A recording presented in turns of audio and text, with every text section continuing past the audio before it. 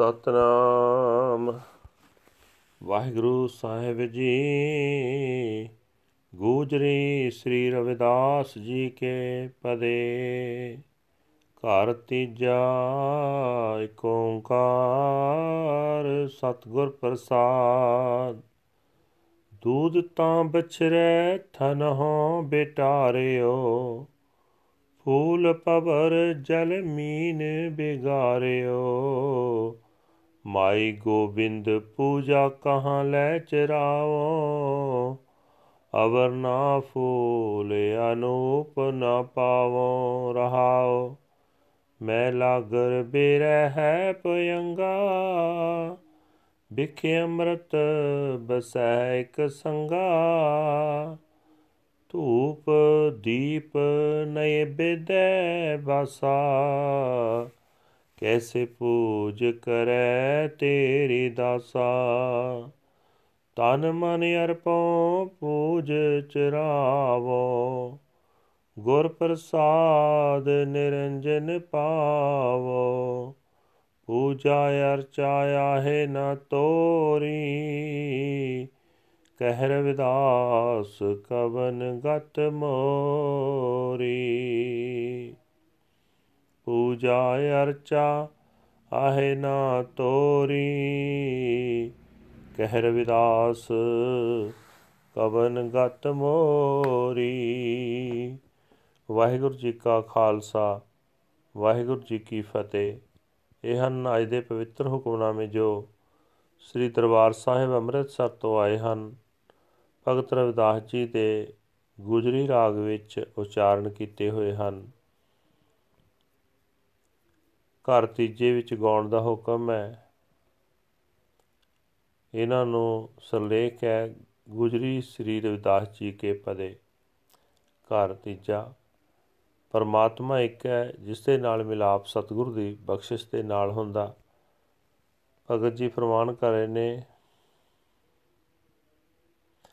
ਦੁੱਧ ਤਾਂ ਥਣਾ ਤੋਂ ਹੀ ਬੱਚੇ ਨੇ, ਜੂਠਾ ਕਰ ਦਿੱਤਾ। ਫੁੱਲ ਭੌਰੇ ਨੇ ਸੁੰਘ ਕੇ ਅਤੇ ਪਾਣੀ ਮੱਛੀ ਨੇ ਖਰਾਬ ਕਰ ਦਿੱਤਾ। ਸੋ ਦੁੱਧ, ਫੁੱਲ, ਪਾਣੀ ਇਹ ਤਿੰਨੇ ਹੀ ਜੂਠੇ ਹੋ ਜਾਣ ਕਰਕੇ ਪ੍ਰਭੂ ਅੱਗੇ ਭੇਟ ਕਰਨ ਜੋਗੇ ਨਾ ਰਹਿ ਗਏ। हे ਮਾਂ, ਗੋਬਿੰਦ ਦੀ ਪੂਜਾ ਕਰਨ ਲਈ ਮੈਂ ਕਿੱਥੋਂ ਕੋਈ ਚੀਜ਼ ਲੈ ਕੇ ਭੇਟਾ ਕਰਾਂ?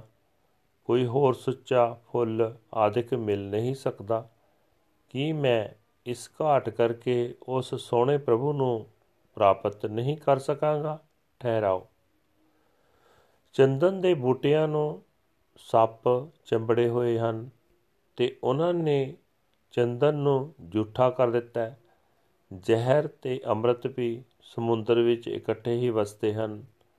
ਸੁਗੰਧੀ ਆ ਜਾਣ ਕਰਕੇ ਧੂਪ, ਦੀਪ ਤੇ ਨਵੇਦ ਵੀ ਝੂਠੇ ਹੋ ਜਾਂਦੇ ਹਨ। ਫਿਰ हे ਪ੍ਰਭੂ, ਜੇ ਤੇਰੀ ਪੂਜਾ ਇਹਨਾਂ ਚੀਜ਼ਾਂ ਨਾਲ ਹੀ ਹੋ ਸਕਦੀ ਹੋਵੇ, ਤਾਂ ਇਹ ਝੂਠੀਆਂ ਚੀਜ਼ਾਂ ਤੇਰੇ ਅੱਗੇ ਰੱਖ ਕੇ, ਤੇਰੇ ਭਗਤ ਕਿਸ ਤਰ੍ਹਾਂ ਤੇਰੀ ਪੂਜਾ ਕਰਨ?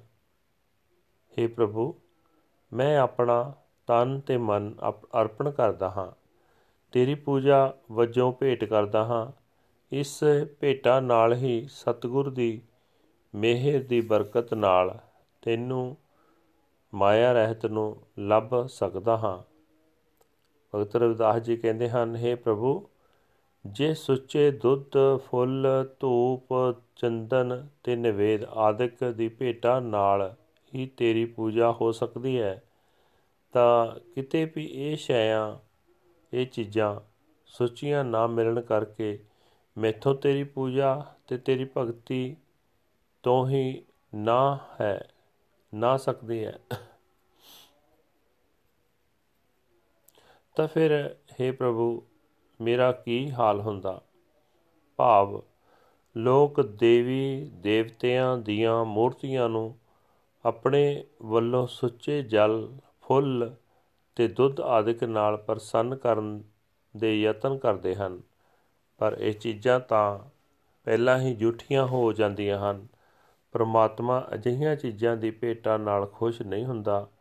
ਉਹ ਤਾਂ ਤਨ ਮਨ ਦੀ ਭੇਟਾ ਮੰਗਦਾ ਹੈ ਵਾਹਿਗੁਰੂ ਜੀ ਕਾ ਖਾਲਸਾ ਵਾਹਿਗੁਰੂ ਜੀ ਕੀ ਫਤਿਹ this is today's Hukamnama from Sri Darbar Sahib Amritsar ਅਟਟਡ by our Bhagat Ravidas ji under heading Gujri padas of Ravidas ji 3rd house one universal creator god by the grace of the true guru Bhagat Ravidas ji says that the calf has contaminated the milk in the breasts.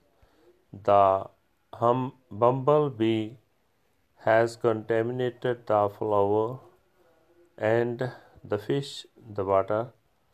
O mother, where shall I find any offering for the Lord's worship?